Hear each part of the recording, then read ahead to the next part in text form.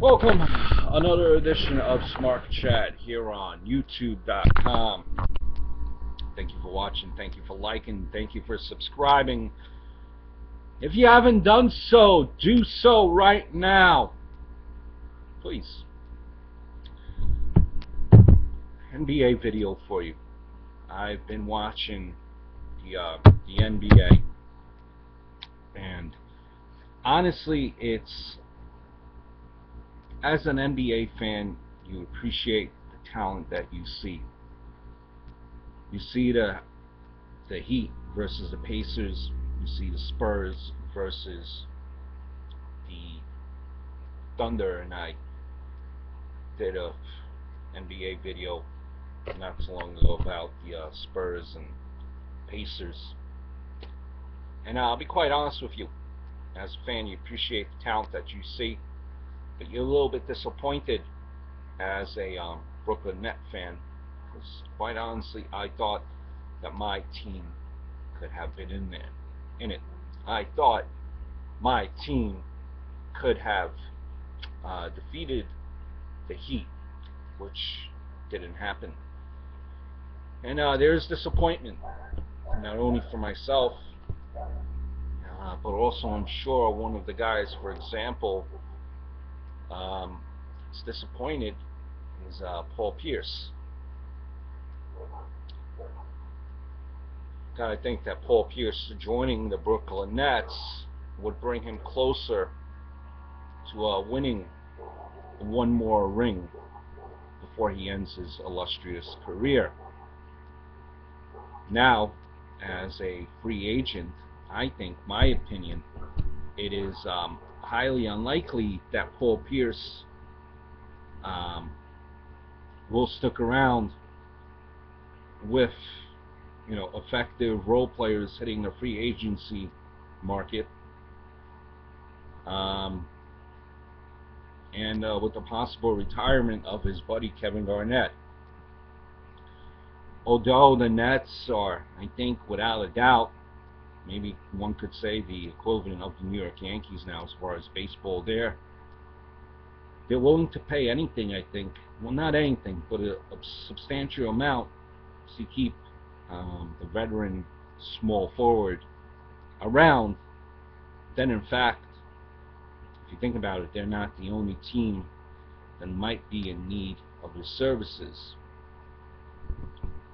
One team that um, comes to mind, you figure that um, the Chicago Bulls would be interested in someone, let's say, a Paul Pierce. Um, assuming, of course, that they're able to sign Carmelo Anthony in the Chicago Bulls. So Paul Pierce's future is probably uncertain. Andre Kirilenko's future is uncertain. Uh, as a Net fan, or if you are the Nets, you probably safe to say the Nets have to explore options to add debt uh, to your team to a small forward position. Now, if you're Nets, and this is the question I pose to you as a Net fan, would you bring back Vince Carter? Now, looking back in the 2013-2014 season, Carter averaged, uh, I think it was like around 12 points, 3 assists, 4 rebounds, and he transitioned, it seemed like, from a superstar to a role player. Damn. How can you not forget Game 7? Game 7 of the 2001 Eastern Conference Final when he missed that jumper against the 76ers. Damn it.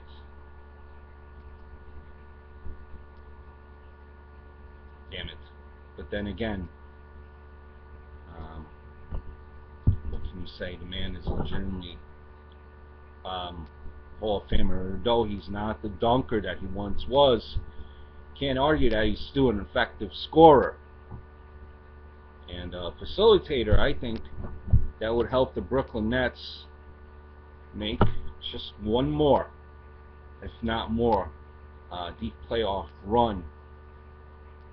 Um, to the championship. You have a core now of Joe Johnson, Deron Williams, uh, in return of Brook Lopez.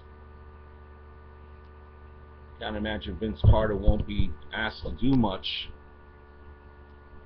But when he's out on the court, I think he makes every minute count. What are your thoughts? I say, sign him. Sign Vince Carter. But at that, hopefully, as a lifelong Net fan, back to the days of Drazen Petrovic, assuming we can't sign Pierce. Heck, why not even bring Carter, Carter here and worry about that combination, even if we keep Pierce down the road. Just saying. Let me know what your thoughts are on Vince Carter possibly going, coming to the Nets. Nets going after Vince Carter. Until next time, Net fans, NBA fans, adios, over and out.